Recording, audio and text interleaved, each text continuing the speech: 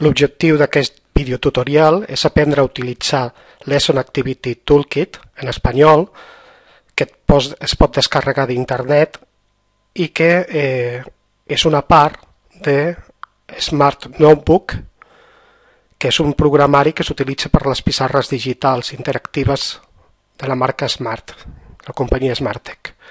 En primer lloc, el que farem és anar al el Lesson Activity Toolkit que es troba dintre a prop de la galeria d'imatges.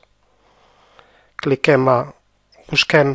Tenim el Lesson Activity Toolkit normalment en anglès, Lesson Activity Toolkit 2.0, que és el que inclou el programa, i nosaltres anirem a Lesson Activity eh, Toolkit 2.0 en espanyol, que trobareu per internet lo fàcil que és d'instal·lar i que s'obté directament des de la pàgina de SmartTech Dintre de Lesson Activity Toolkit trobarem el primer apartat Actividades i dintre d'Actividades anirem a Opciones múltiples. En Opciones múltiples seleccionarem un dels colors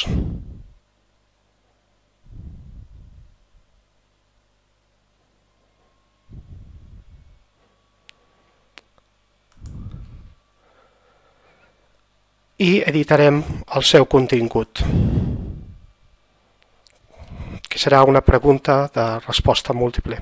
Aquí li escriurem la pregunta Lesson Activity Toolkit pertany a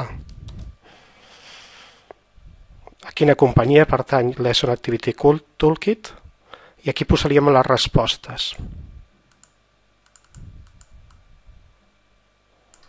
La resposta A, posem per exemple Mimio.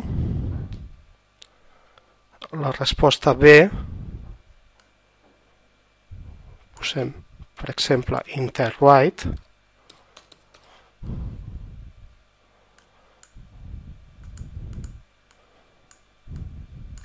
La resposta C,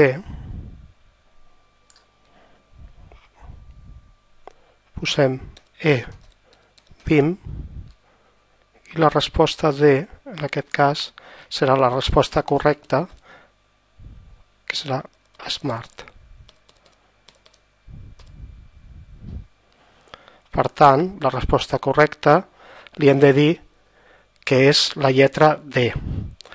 Recordeu que es poden seleccionar diferents, diferents eh, número de preguntes i respostes que apareixen eh, com a pestanyes a la part superior. Vale? En el nostre cas seleccionarem una sola pregunta. Si seleccionéssim més, per aquí, per la part superior, sortirien les diferents preguntes. També podem protegir-ho amb una contrasenya. Com hem acabat, simplement clicar en acceptar i ja tenim aquí la resposta i podem simplement seleccionar fer la, uh, aquesta, aquesta activitat, cliquem que la Lesson Activity Toolkit pertany a Interwrite i no pertany a aquesta companyia, sinó que pertany a Smart, cliquem a Smart i ens diu que la resposta és correcta.